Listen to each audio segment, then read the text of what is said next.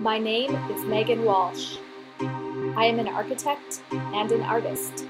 My medium is mosaic.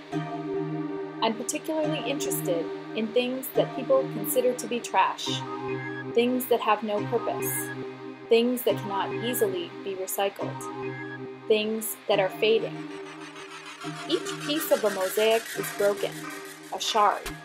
By itself, it would be unremarkable or even ugly, discarded. But by exploring, truly looking and appreciating, touching, shaping, combining, connecting, framing in a different context, it becomes a beautiful part of a larger whole.